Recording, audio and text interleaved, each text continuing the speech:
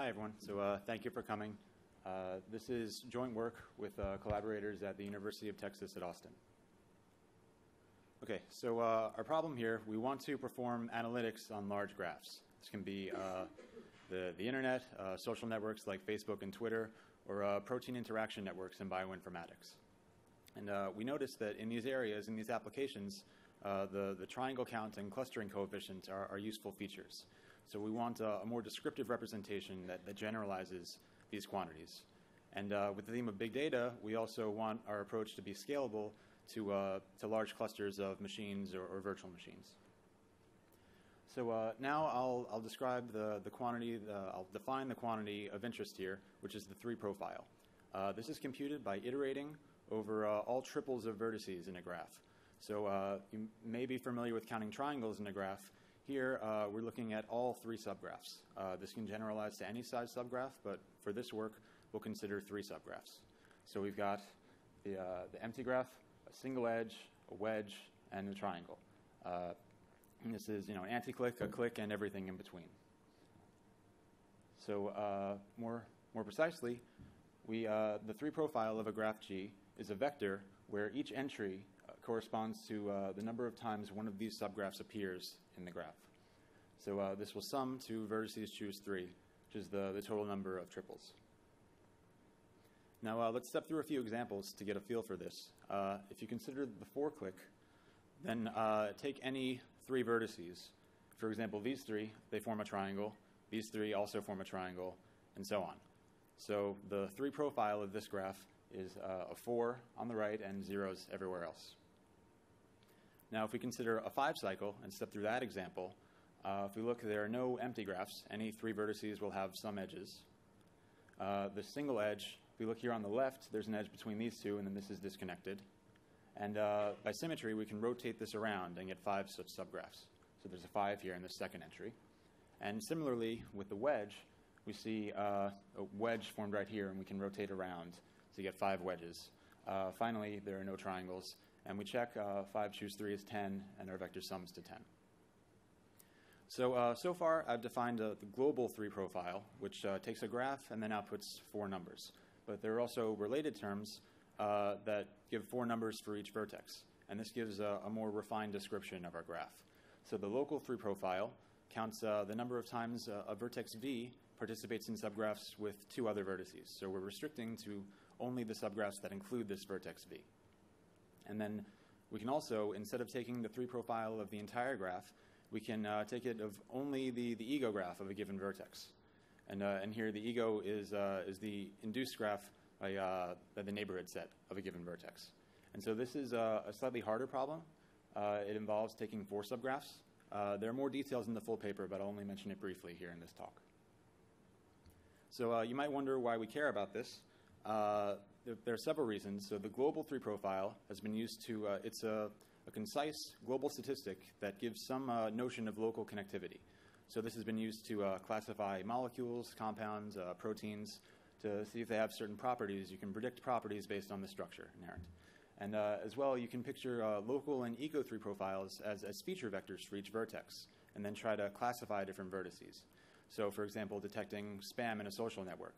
Or uh, it's known that subgraph frequencies uh, look, are a good way to differentiate social networks from other random graph families. So we can use this to, uh, to develop and test new generative models. So uh, now we can state the problem more concretely. Uh, our goal is to compute or approximate these three profile quantities in a large graph. And by large, I mean uh, millions or billions of edges. And so our proposed approach is to use uh, edge subsampling to approximate this quantity and uh, a distributed graph engine implementation. So uh, our contributions are as follows. We derive a three profile sparsifier. So a sparsifier is an estimator on a sparsified version of the graph and uh, we have uh, provable guarantees for this sparsifier. And uh, second, we, we design distributed algorithms that calculate the, uh, the local and ego 3 profiles. So uh, it might be clear that you can compute the, the global four numbers by uh, calculating the local 3 profile and then performing a, a, reduce on all vertices and scaling appropriately. and then finally, we, we implement these algorithms on several hardware platforms and, and test their performance on real graphs. So uh, this problem uh, was defined recently by Nati Linial, but uh, the ideas have been around for a long time. People have cared about uh, graph subsampling estimators, uh, motifs, and graph accounting for a while. Uh, this work is, is most directly inspired by a series of papers by Tsourakakis et al., and then other relevant references are Kim and Vu, Schank, and Kowalik. So now I'll discuss the first contribution, the three-profile sparsifier. So uh, our subsampling scheme is, is, very simple. It's the simplest thing you can do. We, we sample each edge in the graph independently with probability p, and, uh, and observe that the subgraphs in the original graph are related to those in the subsample graph by a Markov chain. So this figure describes the, the, the transitions. If we look at the original graph and the subgraphs contained, uh, and then compare that to the subgraphs in the subsample graph, uh, the clearest one to see is triangles. So a triangle appears in the subsample graph with probability p cubed if each edge in the original triangle is subsampled with probability p. For a wedge, it's uh, slightly more complicated. A wedge can either start as a wedge in the original graph or as a triangle uh, with two edges sampled and one edge not sampled. So you can continue, fill in the rest of this figure, uh, write out a state transition matrix, and uh, invert it to obtain unbiased estimators. Now, uh, it's easy to see with substitution that the, the means are correct, but then a natural question is what's the concentration around these means? Uh, what, what's the variance? How much spread is there? So this leads us to our, our main technical result, which is a, a theorem on three profile sparsifiers. So uh, I've tried to write this in plain English for now. Uh, the mathematical details are in the paper. And, uh, basically, for, for a class of well-behaved graphs, so uh, we'll call them epsilon p balanced graphs for a tolerance epsilon and a sampling probability p, we can bound the, the L infinity norm of our sparsifier error by a term uh, proportional to vertices choose 3 with high probability. And so uh, to try and define this, uh, what I mean by a well-behaved graph, the intuition here is that we want for, for each subgraph, triangles, wedges, and single edge, we want the, the fraction of that subgraph that depends on a single edge to not be too large. So uh, one example of, uh, of a graph that's not well, well balanced is if uh, all of the wedges depend on a single edge. Then that means removing that edge will, uh, will affect the estimators a lot, and this graph is not well balanced for those parameters, and the bound will be worse. So uh, this generalizes a notion uh, that was in existing work for triangles, the number of triangles that exist on a common edge. We can state similar things for, for all subgraphs. So the, the proof outline is straightforward. Uh, we write each estimator as a, as a function of 0, 1 indicator variables for each edge being subsampled. And this is a function of the graph structure as well as the sampling probability p. Now, for, for triangles, we can uh, directly apply concentration results for uh, multivariate polynomials. But uh, the problem with other estimators, they're negative signs. And so uh, the technical contribution is we, we decompose those estimators into uh, terms of totally positive polynomials, uh, apply the concentration, and then combine the, the inequalities. So now I'll, I'll, switch gears and discuss our distributed algorithms. Due to time, I'll only discuss one, which is a 3prof for calculating the, the local 3 profile at every vertex. So, uh, so both algorithms can be written as, as vertex programs in the gather, apply, scatter framework that's common to uh, distributed graph engines, including GraphLab. So uh, I'll, I'll, describe this algorithm. It, it, will look similar to the triangle counting algorithm if you're familiar to that. So uh, the first step is to gather this uh, neighborhood vector at each vertex. So each vertex looks at its neighbors, uh, pulls the, the ID of each neighbor, and then stores this as a gamma v at the vertex. Then each edge uh, scatters following the following uh, quantity gets scattered to each edge, is this, the size of this intersection set. So if you look, this is the number of vertices that are neighbors of both V and A, and this is exactly the number of triangles. Uh, this line should be familiar, and we compute similar quantities, storing a few extra variables here. So uh, this equation computes the number of uh, subgraphs that look like this. So we have neighbors of V which are not neighbors of A. And so uh, the surprising thing is that we can compute all subgraphs like this in this framework distributedly in parallel. And then finally, uh, the, in the, the second and final round of this gather, apply, scatter uh, framework, this data lives at the edges, and we, we gather to the final vertex to get the final count at every vertex. This is to compute the number of triangles, and we do things similarly for the other subgraphs. So for, uh, for ego, three profiles, we, uh, it requires another round of gather, apply, scatter to, uh, to calculate the number of four cliques.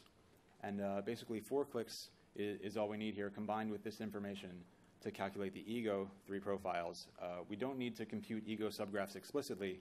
We just calculate these four subgraphs instead, and, and that's everything we need. So now I'll show uh, some of our experiments we ran. Uh, our basic setup, we, we implemented these algorithms in uh, GraphLab PowerGraph. And uh, two, two hardware platforms we used here were a, multi-core server with a, a, large amount, 256 gigabytes of memory, as well as uh, 72 cores, and uh, an Amazon Web Services cluster with uh, up to 20 nodes, powerful Amazon EC2 machines. Our data sets are standard data sets, including uh, the Twitter graph with 1.2 billion edges. So uh, first, let's show uh, the accuracy of our three profile sparsifier. Uh, if we look, this is the, the pay level domain web graph, and uh, each bar represents a subgraph estimator. You see, as we decrease the sampling probability to the point this, this series of bars is throwing away 99% of the edges, you can see that the error is still fairly good. Uh, these bars represent standard deviation, and this is uh, only about 1% standard deviation. Uh, another thing to note is that in this case, the uh, triangle estimate breaks down first. And then uh, we can also compare, our goal in this experiment is to compare the, the running time of our local three profile algorithm to, to GraphLab's default triangle counting algorithm. So this is a, a standard benchmark used in, in graph engines. And uh, it's also worthwhile to look uh, because we're computing more than triangles. We want to see how much extra time it requires to compute these, these extra numbers at, each, at every vertex. So as you see, for, uh, for two graphs here, the uh, Twitter and PLD graph, the running times are, are very comparable. Uh, it doesn't require that much uh, extra resources here to run our three-prof algorithm versus counting triangles. So, and we can, in addition, we can uh, subsample to get this running time down even lower. Uh, if we subsample to get a fairly accurate estimate here, uh, it would uh, correspond to running the, the Twitter graph in, uh, in about a minute. So uh, finally, I'll show a set of results on, on the Amazon EC2 cluster, where we compare, in this case, our Ego-Par algorithm to a, to a naive serial implementation. So as I mentioned before, Ego-Par basically computes all ego 3 profiles in parallel uh, without computing ego subgraphs explicitly. We just count the number of four cliques. So uh, by contrast, this Ego-Ser algorithm for each vertex serially computes the ego and then computes the, uh, the three profile on that ego graph. So uh, we, we notice, we observe that uh, as expected, the, the serial algorithm scales very poorly. we, we run this on 100 randomly selected egos and then increase that to 1,000 and 10,000 egos. And so uh, this is computing four numbers for each of these egos. Uh, and we see that for the, the parallel algorithm, uh, it scales extremely well. We can compute 10,000 egos in, in about 12 seconds. And then we can uh, blow up the, the right hand uh, portion of this graph. The, all of these results are for 12 nodes, if we uh, scale, increase the cluster size to, to 20 nodes, we get additional speedups. So this means that our, our Ego-Par algorithm uh, scales well with increasing cluster size on the LiveJournal graph.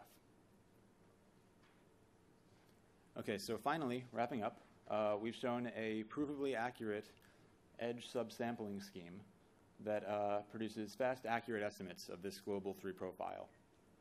Uh, we've shown that local three profile counting consumes roughly the same number of resources as, uh, as local triangle counting. And uh, we've also shown that uh, our distributed algorithms scale well with uh, increasing, increasing problem size as well as increasing cluster size.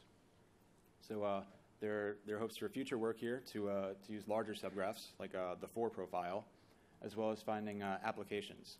So either applications where graphlets or triangle counting is useful or new applications.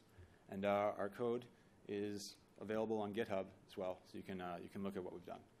And uh, that's it. I'm uh, happy to answer any questions. Any questions?